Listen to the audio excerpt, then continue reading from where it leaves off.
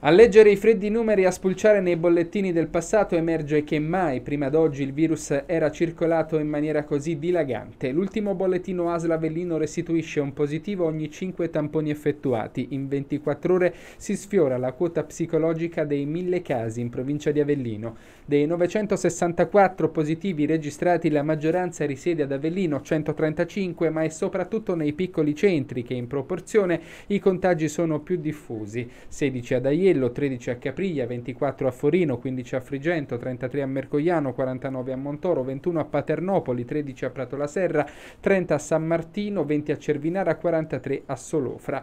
Nulla di nuovo sulle cause, Omicron è molto contagiosa, nelle scuole la variante moltiplica i positivi rapidamente, le rigide temperature invernali e i contatti al chiuso favoriscono la circolazione del virus. La buona notizia è che da ieri tutti i reparti ordinari dell'ospedale Moscati riconvertiti per il Covid si sono svuotati e i pazienti positivi sono nella palazzina Alpi.